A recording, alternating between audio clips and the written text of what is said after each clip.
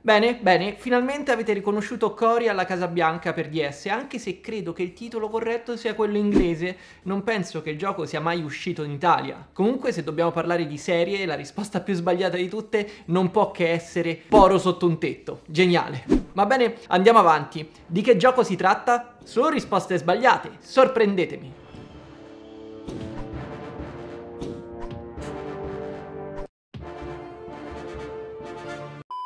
Foracci, bentornati o benvenuti su TG Poro, l'unico format di YouTube Italia dove si parla di videogiochi anche quando non ci sono rumor sul Nintendo Direct. Quella di oggi sarà una puntata ricchissima perché torneremo a parlare di Joy-Con Drift, discuteremo dei nuovi dettagli emersi su Starfield e sul futuro di Bethesda e vedremo anche l'attesissimo ritorno di un titolo completamente folle. Prima di iniziare però vi invito a mettervi in marcia verso la conquista non violenta di internet.com, la fondazione del Poroverso. Non avete tutto questo tempo, vi ricordo che il P-Day sarà il 29 giugno. Nell'attesa preparatevi al meglio, lasciate un like, iscrivetevi al canale attivando la campanella delle notifiche e seguitemi su tutti gli altri social. I link li trovate tutti quanti in descrizione. Bene, ho detto tutto, iniziamo!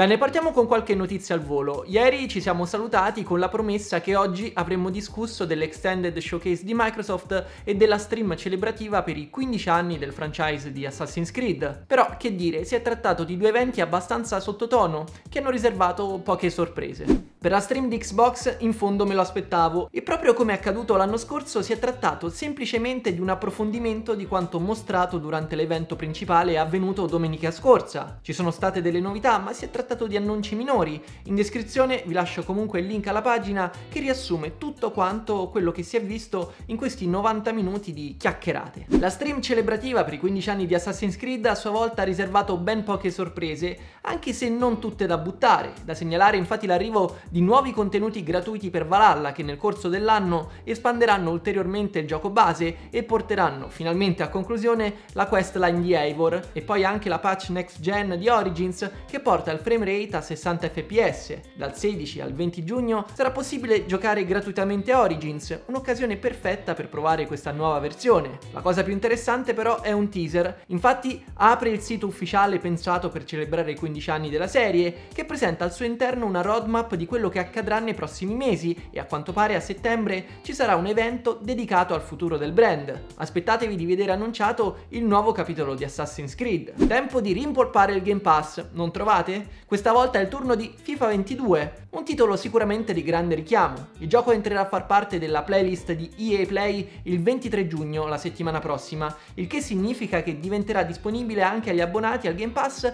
in versione Ultimate. Mentre c'è da fare una piccola precisazione per quanto riguarda gli upgrade gratuiti per le versioni next gen dei Resident Evil, in particolare di quella di Resident Evil 7, che infatti in possesso di Resident Evil 7 su PlayStation 5 tramite il regalo di benvenuto della PlayStation Collection, beh, non potrà usufruire di questa offerta. La patch sarà disponibile solo a chi avrà acquistato il gioco. E poi molto rapidamente, proprio in questi momenti stanno uscendo le recensioni di Shredder's Revenge e porca miseria i pareri sono tutti strapositivi, anche se qui da noi ho notato un'accoglienza leggermente più freddina. Io da amante del genere non sto più nella pelle e non so se riesco ad aspettare la versione fisica. Voi poracci attenderete luglio oppure andrete di day one? Va bene, passiamo alle notizie del giorno e purtroppo si torna a parlare di Joy-Con Drift, ovvero di quello che possiamo considerare senza alcuna ombra di dubbio il più grande difetto di Nintendo Switch. Avete presente, no? Gli analogici che si muovono da soli e c'è un'altissima probabilità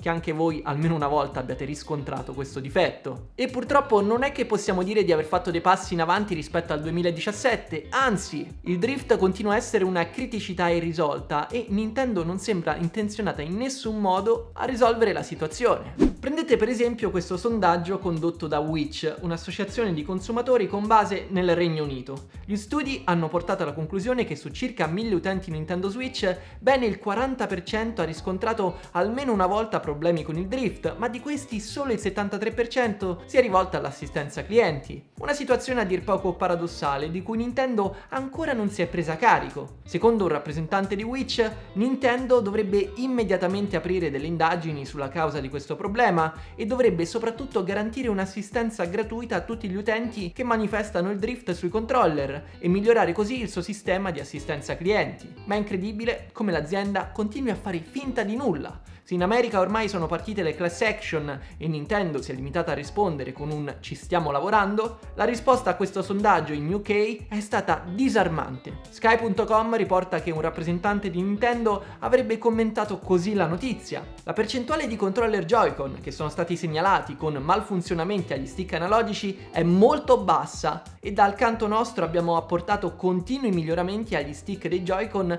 sin dal loro lancio nel 2017. Insomma, per Nintendo UK tutto regolare. Il drift non esiste, ma se anche fosse, si tratterebbe comunque di una minuscola e accettabile percentuale di utenti che sono invitati a rivolgersi all'assistenza clienti. Purtroppo l'unica speranza che abbiamo a questo punto è incrociare le dita che con la prossima generazione di hardware Nintendo non si ripresenti lo stesso problema. Ma ditemi, sono curioso, voi sulla OLED avete riscontrato il drift? La scorsa domenica è stato finalmente svelato il gameplay di Starfield, uno dei progetti più attesi per il 2020 2022, eh, anzi no, per il 2023. L'opera di Bethesda si è dimostrata incredibilmente ambiziosa e le parole di Todd Howard non hanno fatto altro che incuriosire ancora di più i giocatori. Ora però, grazie a un'intervista fatta a Howard da parte di IGN, possiamo avere un quadro molto più chiaro sul gameplay del titolo. Anche in questo caso troverete in descrizione il link al portale di IGN che racchiude in tanti diversi articoli tutti gli argomenti trattati con Howard. Vi consiglio di leggerli tutti quanti, sono anche tradotti in italiano italiano perché restituiscono un quadro molto più sensato sulle dimensioni del titolo. Le cose da mettere assolutamente in evidenza per me sono le seguenti. Il gioco presenterà 4 città esplorabili in totale e una di queste, New Atlantis, sarà la più grande in assoluto mai vista in un gioco Bethesda. Per mettere in prospettiva, è la stessa IGN a ricordare che Skyrim aveva un totale di 5 città, mentre Fallout 4 solo 3. L'esplorazione spaziale sarà separata dalla superficie dei pianeti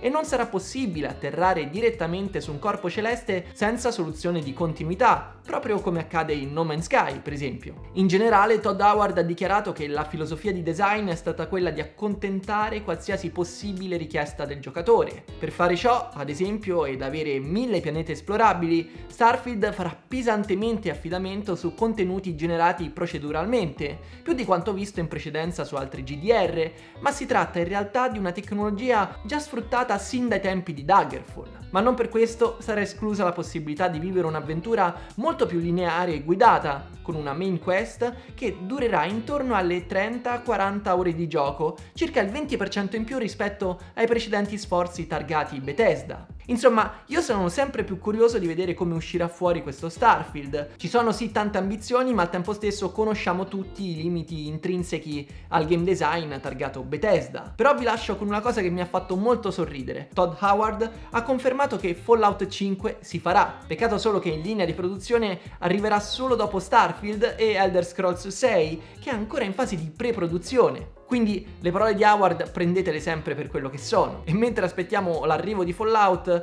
direi che avremo tutto il tempo del mondo per esplorare con tranquillità l'intera galassia. E poracci ho deciso di chiudere la puntata di oggi con una notizia che per me è una vera bomba. Molto probabilmente e anche molto presto potremo assistere al ritorno di uno dei giochi più folli di sempre, Lollipop Chainsaw. Quando si parla di Suda 51 è facile immaginarsi una produzione dai toni sopra le righe, ma credetemi, quando vi dico che probabilmente Lollipop Chainsaw è il gioco esteticamente più folle e malato partorito dalla mente del buon Goichi Suda. Penso che le immagini del trailer parlino abbastanza da sole, vi dico però che molto spesso ho pensato di metterlo in apertura in solo risposte sbagliate, ma non lo so, è difficile trovare una scena che non sia troppo greve da mettere a inizio video. Detto questo, si tratta di un gioco che in realtà non è mai stato ripubblicato, e la versione Xbox 360 non è retrocompatibile, mentre l'edizione PlayStation 3 non compare neanche nel catalogo in streaming del nuovo Plus, e il gioco inoltre non è mai stato pubblicato su PC.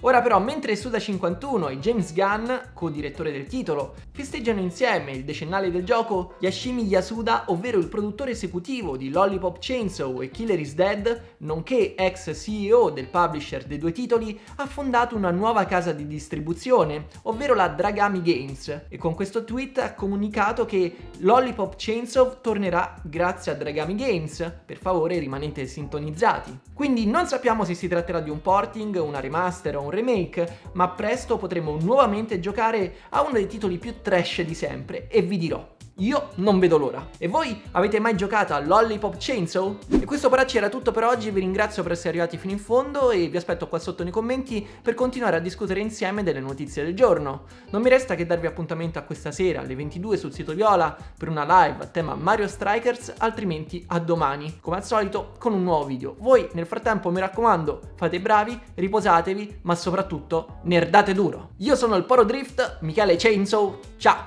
Ehi ehi ehi, fermo! Se questo tipo di video ti piace, prendi in considerazione l'idea di supportarmi sul Poreon, il Patreon dei Poracci. Con un piccolo contributo mensile mi puoi aiutare enormemente a portare avanti i contenuti qua sul canale e in cambio ricevi anche delle ricompense di tutto rispetto come retroscena, anteprime e anche live esclusive dove andremo a caccia di retro game. Ti lascio il link in descrizione e ricordati che Poracci si diventa.